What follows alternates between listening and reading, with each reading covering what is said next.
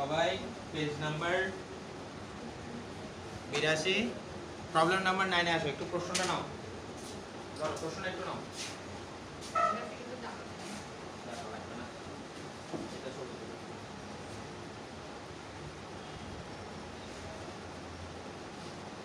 লাগবে? এই নাও, নাও। এই ছোট প্রশ্নটা নাও, এই কোনটা? এই যেটা।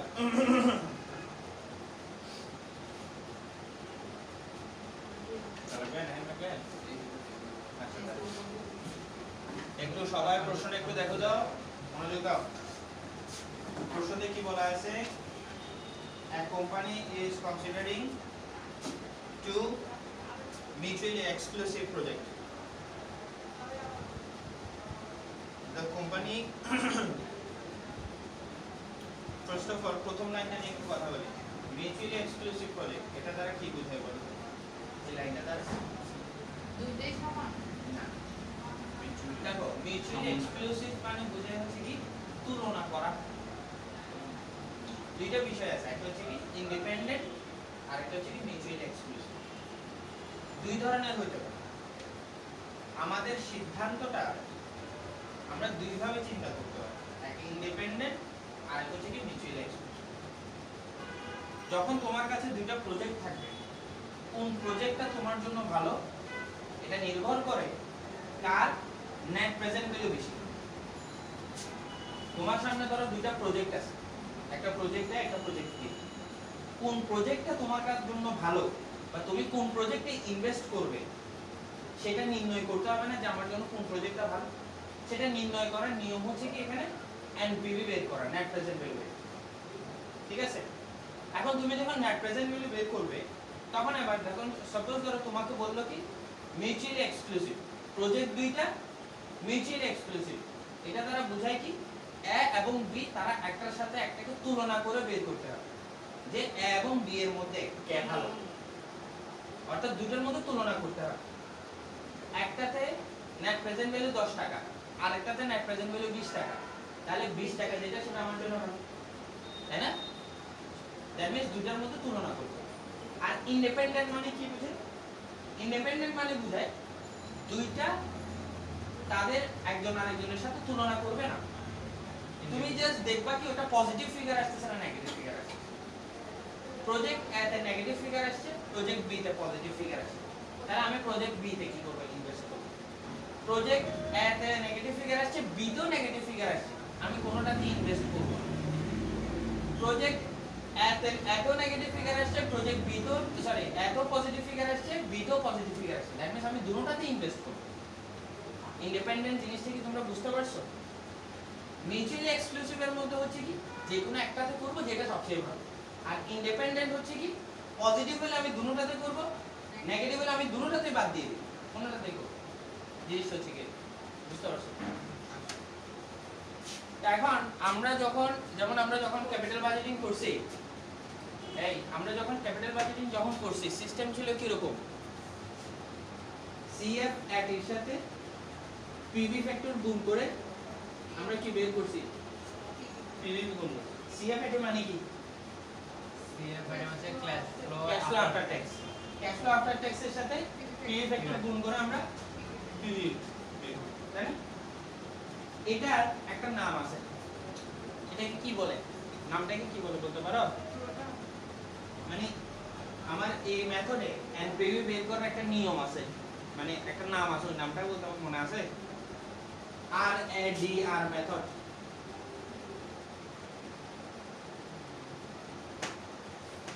এটা পড়ছিলা গত সেমিস্টারে পড়ছিলা হয়তো মনে নাই? এই এখানে যেমন ধরো এই যে যে নিয়মটা করছ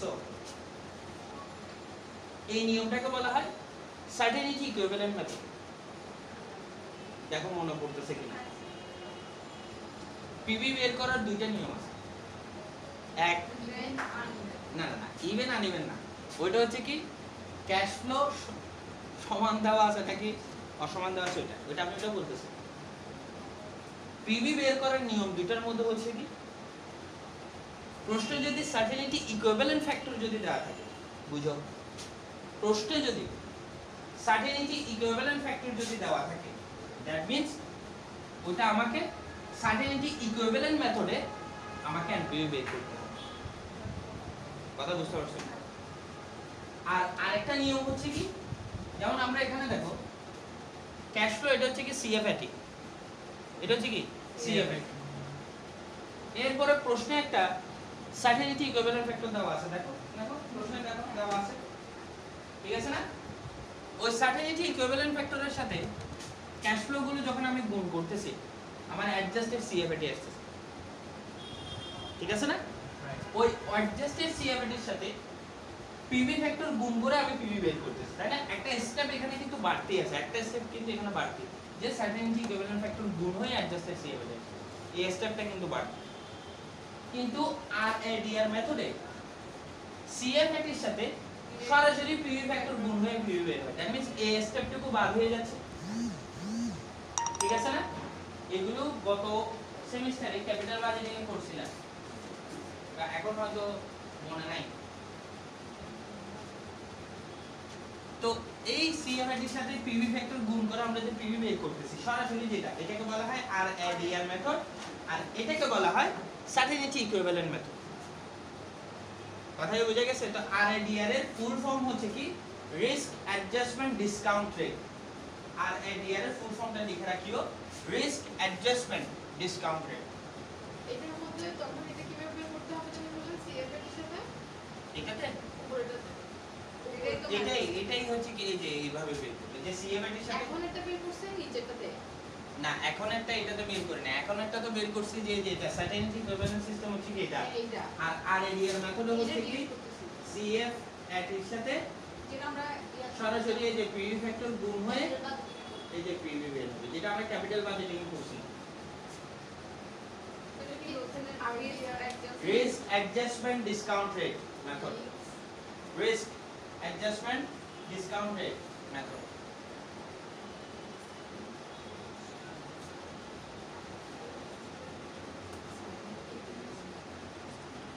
risk adjustment discount rate আচ্ছা এবার একটু করে প্রশ্নটা কমপ্লিট করি।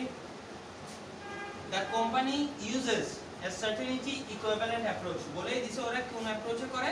Certainty equivalent approach the estimated cash flow and certainty equivalents for each project are follows. আচ্ছা। নিচে ক্যাশ ফ্লোস এবং certainty equivalent দেওয়া আছে। এখানে জিরো দিয়ে একটা নেগেটিভ ফিগার দেওয়া আছে তাই না? আচ্ছা মনে রাখবে এভাবে যে জিরো ইয়ার দিয়ে নেগেটিভ ফিগার দিয়ে যে টাকাটা দেওয়া থাকে এটা কোনো ক্যাশ ফ্লো না। এটা হচ্ছে কি আমার আমার এনসিও কে বোঝানো হচ্ছে দেখো বাকি সবগুলো পজিটিভ ফিগার আছে। ওইটা শুধু নেগেটিভ ফিগার আছে কেন কারণ হচ্ছে কি ক্যাশ ফ্লো যেগুলো দেওয়া আছে এগুলো দ্বারা ক্যাশ ইনফ্লোস বোঝানো হচ্ছে অর্থাৎ এগুলো আমার আয়। কিন্তু জিরো ইয়ার দিয়ে যেটা নেগেটিভ ফিগার দেওয়া আছে ওটা আমার ব্যয় বোঝাচ্ছে অর্থাৎ যেটা আমার ইনভেস্টমেন্ট এই জন্য এটা নেগেটিভ ফিগারে দেওয়া আছে। তাহলে ওটা আমার ক্যাশ ফ্লোতে কিন্তু আমি দেখাতে পারব না কারণ ওটা আমার আয় না ওটা আমার ব্যয়। ঠিক আছে? হ্যাঁ হ্যাঁ আচ্ছা এরপরে প্রশ্নে আমার সার্টিনিটি ইকুইভ্যালেন্ট ফ্যাক্টর দেওয়া আছে পাশাপাশি।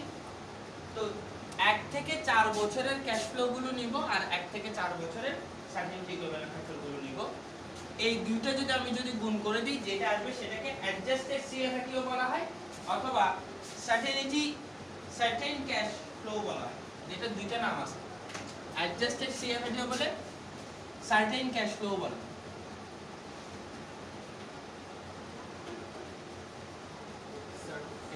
সার্টেন ক্যাশ ফ্লো দুইটাই হবে ঠিক আছে? আচ্ছা। এরপরে পিভি ফ্যাক্টর প্রশ্নে নিচে একদম নিচে একটা লাইন আছে which project should be accepted কোন প্রজেক্ট অ্যাকসেপ্ট করব? The risk free Discount rate is 5% তাহলে এটার বের করতে হবে। তাহলে আমাকে 5% এ আমরা পিভি ফ্যাক্টরগুলো আমরা বের করব। 5% এর পিভি ফ্যাক্টর কেমনে বের করে বলেন? 1 divided One by by 1 plus Power পারেন পিভি ফ্যাক্টরের সূত্র হচ্ছে কি? 1 by 1 plus r 4 to the power n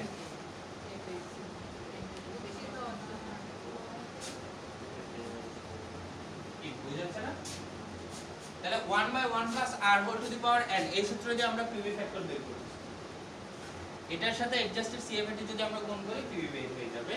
এবার ওই পিভি থেকে এনসিটা যদি আমাদের বিয়োগ করি, আমরা এনপিভি পেয়ে যাব।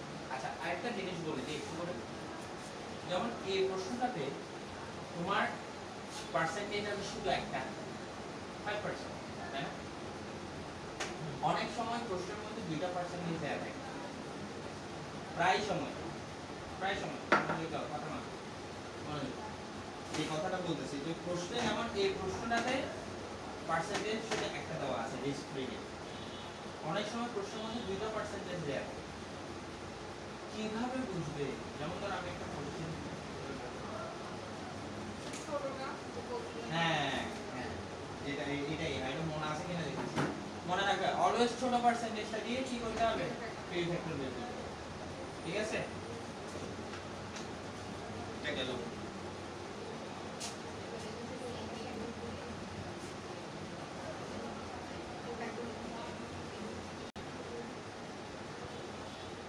আচ্ছা এই সবাই আসো একটু। এগারো নম্বর প্রশ্ন আসো। দেখো তো প্রশ্ন কি বলতেছে? এগারো নম্বর প্রশ্ন বের করো। The following are given the possible net cash flow for project X and Y and they are associated probabilities দুইটা প্রজেক্ট দেওয়া আছে, একটা এক্স একটা ওয়াই সাথে সাথে প্রবাবিলিটিসগুলো দেওয়া আছে। Both project have a discount rate of 10%. Discount rate মানে এক কথায় পিভি ফ্যাক্টর রেট দেওয়া আছে 10%. Calculate the expected net present value for each project assuming an initial investment of টাকা 5000 for both projects. এই initial investment মানে কি বোঝায় এখানে কস্টিং টাকা বোঝায় যে শুরুতে যে ইনভেস্টটা করা হচ্ছে সেটাকে হুইচ প্রজেক্ট ইজ প্রেফারেবল কোন প্রজেক্টটা প্রেফারেবল সেটা বের করে দেখা যাবে এখন আমরা এখানে কোন প্রজেক্টটা ভালো সেটা বের করার জন্য আমাদেরকে দেখতে হবে কি আমি কি বলছি কোন একটা প্রজেক্টকে তুলনা যদি করতে হয় কোন প্রজেক্টটা ভালো কিসের মাধ্যমে তুলনা করব? এনপিভি আগের অঙ্কটা ছিল শুধু এনপিভি বের করছিলাম। এখানে এক্সপেক্টেড এনপিভি বের কারণ এখানে তোমার ক্যাশ ফ্লোর সাথে সার্টেনিটি ইকুইভ্যালেন্ট বা শুধু পিভি ফ্যাক্টর না দিয়ে প্রবাবিলিটিস দিয়ে দিছে। মনে আছে? রিস্ক এন্ড রিটার্নের ক্ষেত্রে এক্সপেক্টেড রিটার্ন কেমনে বের করব? Summation R I P R probability গুণ করে, তাই না? রিটার্নের সাথে প্রবাবিলিটি গুণ করে summation R I P R তাই না? ঠিক আছে? আচ্ছা এরপরে আরেকটা ওখানে যে তোমরা যদি রিস্ক এন্ড তোমাদেরকে শীটটা দিছিলাম ওখানে দেখি আরেকটা ছিল এরকম এক্সপেক্টেড এনপিভি মনে আছে? মনে ঠিক আছে? ওটা তোমরা তোমাদের প্রিন্সিপাল ফিনান্সের ওই এন্ড রিটার্ন শীটটা দেখলে পাবা ওটা ছিল এরকম এনপিভি ইনটু পিআই অর্থাৎ এনপিভির সাথে প্রবাবিলিটি গুণ একটা কথাও বলছিলাম এরকম প্রবাবিলিটি অলওয়েজ গুণ হয় ইয়ার অলওয়েজ ভাগ হয় মনে আছে? এই কথাটাও বলছিলাম আমি জানি খাই দিচ্ছ ঠিক আছে? এটা প্রমাণ তো প্রশ্নে যদি এনপিভি যদি দেয়া থাকে তাহলে সরাসরি আমরা ওই এনপিভির সাথে প্রবাবিলিটি গুণ করে আমরা এক্সপেক্টেড এনপিভি পেয়ে যাই। কিন্তু প্রশ্নে যদি এনপিভি দেওয়া না থাকে ক্যাশ ফ্লো যদি দেওয়া থাকে ক্যাশ ফ্লো তখন সেক্ষেত্রে আর এভাবে করে দিলে হবে না। বুঝতে পারছ? দেওয়া প্রশ্নে যদি ডিরেক্টলি এনপিভি যদি দেয়া থাকে তাহলে সেই ক্ষেত্রে এনপিভির সাথে সরাসরি প্রবাবিলিটি গুণ করলে এক্সপেক্টেড এনপিভি বের। কিন্তু প্রশ্নের মধ্যে যদি ক্যাশ ফ্লো থাকে তখন সেই ক্ষেত্রে আর কিন্তু এই সিস্টেমটা ফলো করবে না। তখন একটু চেঞ্জ করে আসবে। কীরকম? ক্যাশ ফ্লোর সাথে প্রথমে আগে কি করতে হবে? প্রবাবিলিটি গুণ করতে হবে। গুণ করে যেটা আসবে সেটাকে বলা হবে কি? এক্সপেক্টেড ভ্যালু ঠিক আছে? এরপরে এক্সপেক্টেড অনেক সময় কিন্তু প্রশ্ন এটাও বলে দেয় যে শুধু বলবে কি এক্সপেক্টেড ক্যাশ ফ্লো বের করো। এক্সপেক্টেড এনপি বের করতে বলবে না, কি বের করতে বলবে? এক্সপেক্টেড ক্যাশ ফ্লো তখন কিন্তু এতটুকুতেই অঙ্ক শেষ। অনেক ক্ষেত্রে এরকম বলতেও পারে, অস্বাভাবিক কোনো কিছু এরপরে এক্সপেক্টেড এনপিভি বের করার জন্য আমাকে কি করতে হবে? এমনি, এমনিতে এনপিভি সূত্র কি? পিভি মাইনাস এনসি তাই না? এটাই তো সূত্র নাকি? এই এক্সপেক্টেড প্রবাবিলিটি ভ্যালু যেটা আসছে আমাকে করতে হবে কি? এটা প্রেজেন্ট ভ্যালু বের করতে হবে। আবার দেখো মনোযোগ দাও। এখানে যেটা বের করছি এটা কি? এক্সপেক্টেড ভ্যালু এনপিভি বের করার জন্য আমাকে এখানে কি বের করতে হয়? প্রেজেন্ট ভ্যালু বের করতে হয় তাই না? তাহলে আমাকে করতে হবে কি? এই ছয় হাজার টাকা। প্রেজেন্ট ভ্যালু বের করতে হবে। তাহলে যে কোনো একটা জিনিসের প্রেজেন্ট ভ্যালু বের করার জন্য আমরা কি করি? পি ফ্যাক্টর দিয়ে গুণ করি না? আবার দেখো প্রশ্নের উপরে শুরুতে একটা পার্সেন্টেজ দেওয়া আছে 10% আছে কিনা দেখো? আছে না? আছে ডিসকাউন্ট রেট অফ 10% এখন ওই 10% এর পি ফ্যাক্টর শুধু একটা শুধু একটা প্রথম বছরের। শুধু প্রথম বছরের ফ্যাক্টরটা নিতে হবে। এটা থেকে 0.909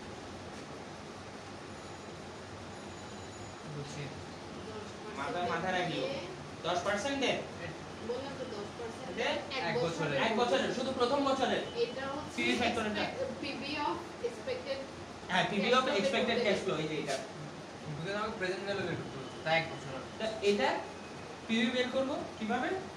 যেটা আসছে সেটার সাথে এক বছরের পিভি ফ্যাক্টর গুণ করে দিব। এনসিও মানে কি? বুঝে ইনিশিয়াল ইনভেস্টমেন্ট ইনিশিয়াল ইনভেস্টমেন্ট প্রশ্ন দেওয়া আছে কত? পাঁচ হাজার। এটার সাথে এটা গুণ করে হচ্ছে পাঁচ হাজার চারশো পঞ্চান্ন, তার থেকে পাঁচ হাজার বিয়োগ করছি। কত আসছে? চারশো পঞ্চান্ন। বুঝে গেছে? দেখো, বুঝছ কিনা এটা? এখন এটা যেভাবে করছ, হুবহু একইভাবে পরের প্রজেক্ট পরের প্রজেক্টটা করব বুঝতে পারছ কিনা দেখো